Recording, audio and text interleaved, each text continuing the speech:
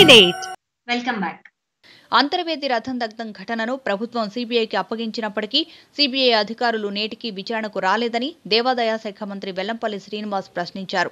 పార్లమెంటులో జీవీఎల్ నరసింహులు మాట్లాడి ఉంటే బాగుండేదన్నారు. సీబీఐ విచారణలోపే రాష్ట్ర ప్రభుత్వం రథం నిర్మాణం పూర్తి చేసిందన్నారు. సీబీఐ విచారణకు కేంద్ర ప్రభుత్వం ఎందుకు స్పందించలేదో బీజేపీ ఎంపీ జీవీఎల్ నరసింహారావు సమాధానం చెప్పాలన్నారు. ఏదైతే అంతర్వేది ఘటన ఉందో దాన్ని మేము సిబిఐకి అప్పచెప్తూ జీవో జారీ చేశాం. కానీ ఇంతవరకు వాళ్ళు విచారణ రాలేదు. దాని మీద మరి ఈరోజు రాజ్యసభలో అది కూడా మాట్లాడుంటే బాగుండేది. జీవన గారు అది మాట్లాడకుండా మరి సిబిఐకి అప్పచెప్తే ఎందుకు మరి భారతీయ జనతా పార్టీ కానీ బ్యా- కేంద్ర ప్రభుత్వం కానీ ఎందుకు చొరవ తీసుకోవట్లేదు?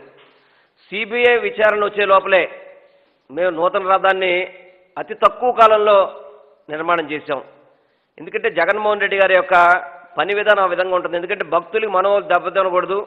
ఏదైతే ఫిబ్రవరి ఇరవై ఆరు తారీఖు నాడు స్వామివారి రథోత్సవం ఉందో ఆ రథోత్సవం లోపు రావాలని చెప్పిన ఆ ఒక రథాన్ని కూడా రెడీ చేసి పెట్టుకుంటే ఇంతవరకు సిబిఐ దర్యాప్తు ఎందుకు ప్రారంభించలేదు? దీనికి జీవీఎల్ నరసింహారావు సమాధానం చెప్పాల్సిందే. తులసివనం వంటి చిత్తూరు జిల్లాలో గంజాయి మొక్కల పెద్దిరెడ్డి రామచంద్రారెడ్డి తయారయ్యారని టీడీపీ అధికార ప్రతినిధి పంచుమర్తి అనురాధ ప్రశ్నించారు. టీడీపీ ప్రభుత్వ కాలంలో రోడ్ల నిర్మాణం వీధి దీపాల ఏర్పాటులో గణనీయమైన అభివృద్ధి సాధించారన్నారు. రెండేళ్ళ వైసీపీ పాలనలో పంచాయతీరాజ్ శాఖ ఏమి అభివృద్ధి చేశారో చెప్పాలని కోరారు. చంద్రబాబు నాయుడు గారి జిల్లా తులసివనం లాంటి జిల్లా ఈరోజు ఆ జిల్లాలో ఒక కలుపు మొక్క బయలుదేరింది. పేరు పెద్దిరెడ్డి రామచంద్రారెడ్డి. ఈయన ఒక మినిస్టరు. పంచాయతీ శాఖ అమాత్యులుగా పనిచేస్తూ ఉన్నారు. ఆ చిత్తూరు జిల్లాని తులసి వనం లాంటి ఆ చిత్తూరు జిల్లాని ఈరోజు గంజాయి వనంగా మార్చేశారు. అభివృద్ధి గురించి మాట్లాడే దమ్ము అతనికి లేదు. బడుగు బలహీన వర్గాలని కాపాడే దమ్ము ధైర్యం అతనికి లేదు. ఎలక్షన్స్ని ఫేస్ చేసే దమ్ము ధైర్యం లేని వ్యక్తి ఈరోజు ఇష్టం వచ్చినట్టుగా ప్రవర్తించడం దేని గురించి మాట్లాడినా కూడా మొహం చాటేయడం ఒక రాక్షస పాలన్ని చిత్తూరు జిల్లాలో ఒక నియంతలాగా సాగిస్తూ ఉన్నాడు.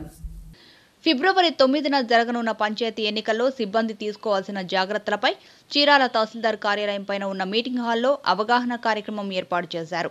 ఉపాధ్యాయులు సోషల్ వెల్ఫేర్ ఇంజనీరింగ్ డిపార్ట్మెంట్ కాలేజీలకు చెందిన సిబ్బంది ఉమెన్ అండ్ వెల్ఫేర్ డిపార్ట్మెంట్ హ్యాండ్లూమ్కు చెందిన సిబ్బందికి అవగాహన కల్పించారు.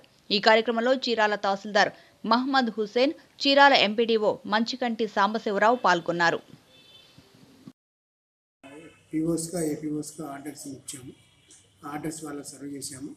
వాళ్ళకు మనము మూడు వందల యాభై మందిని మూడు వందల యాభై మంది ఒకే రోజు అంటే మనం ఒకే పూట్లో మనకు కష్టం కాబట్టి రెండు సెషన్స్ ఏర్పాటు చేసుకొని ఈ రోజున మార్నింగ్ ఒక సెషన్ ఈవినింగ్ ఒక సెషన్ మనం పెట్టుకున్నాము. పదిన్నర నుంచి ఒంటి గంట వరకు ఒకటి రెండు నుంచి ఐదింటి వరకు ఒక సెషన్స్ పెట్టుకున్నాము.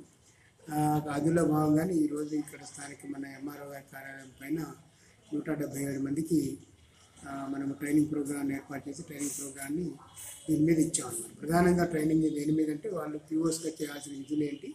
స్టేజ్ టూ ఆఫీసర్స్ కోఆర్డినేట్ చేసుకుంటూ వీళ్ళు వాళ్ళ పీఓస్ డ్యూటీలని పంచాయతీల్లో చేయాల్సి వస్తుంది. వేసిన పంచాయతీలో వాళ్ళ డ్యూటీస్ చేయాల్సి వస్తుంది. ప్రధానంగా సక్రమంగా మెటీరియల్ హ్యాండ్ ఓవర్ చేసుకోవడం కానీ తర్వాత అన్ని నైట్ టైం మొత్తం రెడీ చేసుకోవటం కానీ పొద్దున్నే తర్వాత వాళ్ళు ఎలక్షన్కి వెళ్ళే ముందు ఒక గంట ముందే బ్యాలెట్ బాక్స్ రెడీ చేసుకోవడం కానీ ఇతర విషయాలు కానీ అవన్నీ కూడా కూలంకషంగా వాళ్ళకు చెప్పడం జరిగింది. తర్వాత ఎలక్షన్ జరిగేటప్పుడు కూడా వాళ్ళు ఏ రకంగా వాళ్ళకి ఎలా సిబ్బంది ఏ ఏ విధులు ఏర్పాటు చేసుకోవాలా ఏంటి? అన్ని స్టాట్యుటరీ కవర్స్ రెడీ చేసుకోవడం కానీ ఇతర విషయాల మీద కానీ కూలంకషంగా మనము మాస్టర్ ట్రైనర్ మనకు సుభా సుభాని గారు ఉన్నారు. వారితో వివరంగా చెప్పించడం తర్వాత స్థానిక ఎంఆర్ఓ గారిని కూడా ఇందులో పార్టిసిపేట్ చేయడం జరిగింది. ఈ విధంగా వాళ్ళకు ట్రైనింగ్ ఇచ్చాం. ఈవినింగ్ కూడా వాళ్ళకు మళ్ళీ నూట డెబ్బై ఏడు మందికి మళ్ళీ విడిగా ట్రైనింగ్ ఇవ్వడం జరుగుతుంది. వార్తలు ముగించే ముందు ముఖ్యాంశాలు మరోసారి. నాడు నేడు